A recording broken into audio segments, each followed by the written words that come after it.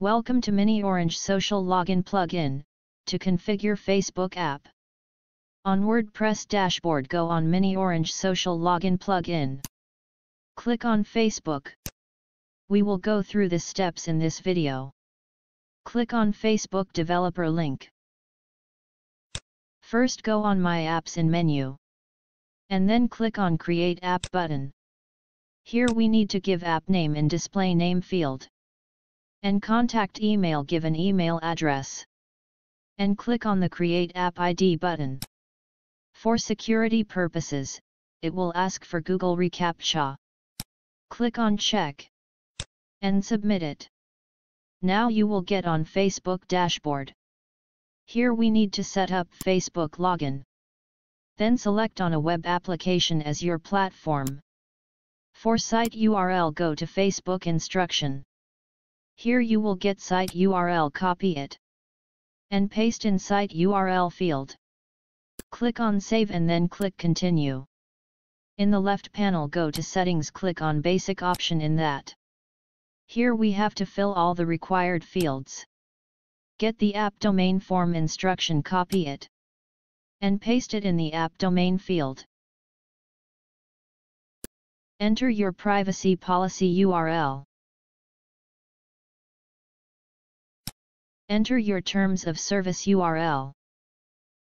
Choose a category as per your requirement.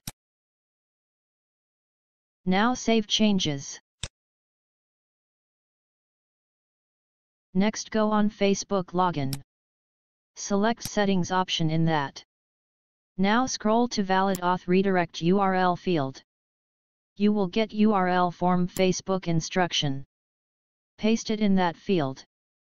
Click on Save Changes. Now enable your status on. Click on Switch Mode. Go on Settings on left panel. Select Basic option in that. Copy App ID key. And paste it in App ID field. Next click on Show App Secret. Copy App Secret. And paste it in App Secret field. Click on Save. After that click on Test Configuration. Allow permission for Facebook application. User information will get display here. Next go on Facebook icon. Here you will get option to enable and disable icon.